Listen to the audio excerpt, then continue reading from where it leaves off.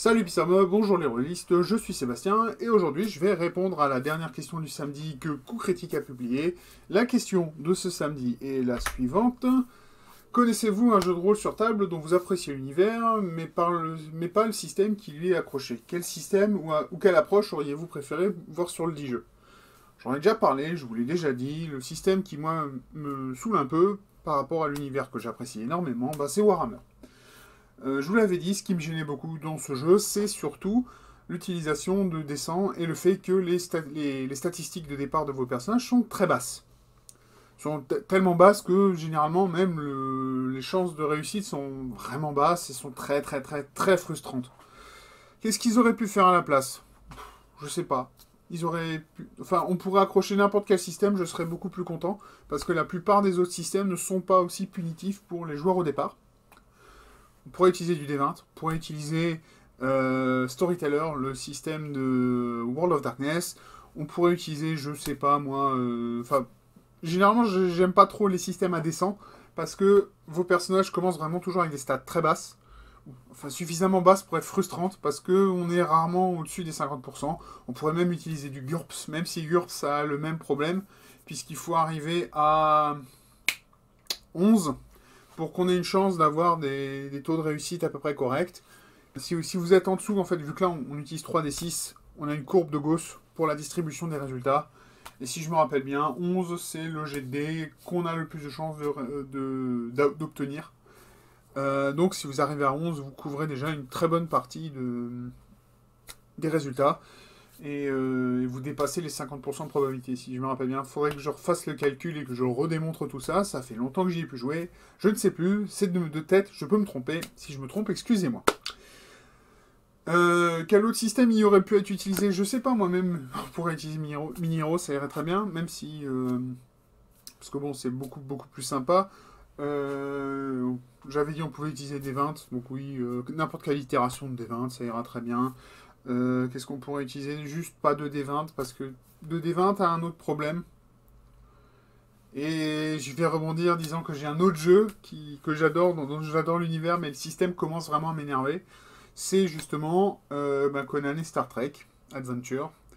Les deux ont le, le fait que il y a 2D20. Et 2D20, c'est un peu comme tous les jeux qui utilisent du matériel spécial, ça m'énerve un peu aussi.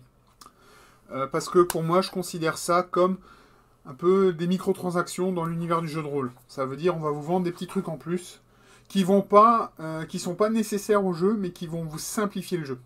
Je, m'explique. Dans dans 2D20 ou euh, dans le jeu Edge, par exemple euh, Star Wars aux confins de l'Empire, vous avez besoin entre guillemets d'utiliser des dés qui sont spéciaux, qui ont été customisés. Parce qu'ils n'affichent pas les faces numériques normales, ils afficheront des symboles spéciaux. Alors il y a une table de correspondance dans le bouquin, donc à la limite vous l'imprimez, vous la collez si elle n'est pas sur votre écran du MJ, des deux côtés comme ça les joueurs aussi peuvent le voir, et puis c'est bon. Mais de nouveau, c'est compliquer la tâche, rajouter une, une, étape cognitive au faire un jet de dés qui va rendre l'opération moins fun, moins fluide, et où le but c'est de vendre du matériel. Pareil, on peut faire ça avec des cartes et tout ça. Et c'est hyper frustrant, à mon goût. C'est pas nécessaire. Alors, je sais que je fais un peu l'hypocrite en disant ça, puisque moi je suis en train de parler de développer un système de création de perso qui va soit utiliser un jeu de tarot ancien euh, façon tarot de Marseille, ou un jeu de tarot classique. Donc voilà, mais moi la différence c'est ça, c'est du matériel standard. Je ne vais pas créer du matériel particulier que je vais imprimer et que je vais vendre à prix d'or. Parce que bien sûr, c'est ça le but. On fait déjà que faire imprimer du matériel ou créer des dés, ça coûte cher parce que c'est. À part si on s'appelle Edge ou un autre éditeur de jeux comme ça où on peut faire de l'impression de masse, de la création de masse ou de la très grande série, ben là les prix vont être bas et alors à ce moment-là, on va pouvoir faire une marge de fou furieux. Sinon, si vous le faites en pour votre petite production artisanale, ça va vous coûter un bras. Euh, je crois que c'est euh, Papa DM qui s'est lancé dans la création de, de GD. Je pense qu'il pourra mieux vous parler de moi que moi justement de ce que ça coûte et du boulot que ça représente. Voilà. Enfin bon, voilà, c'est ce genre de petites choses qui me tracassent. Euh, donc voilà, c'est d'un côté le système d'essence, j'ai un peu de mal parce que ben, les personnages débutants sont vraiment très débutants et ont des chances de réussite très basses et c'est hyper frustrant.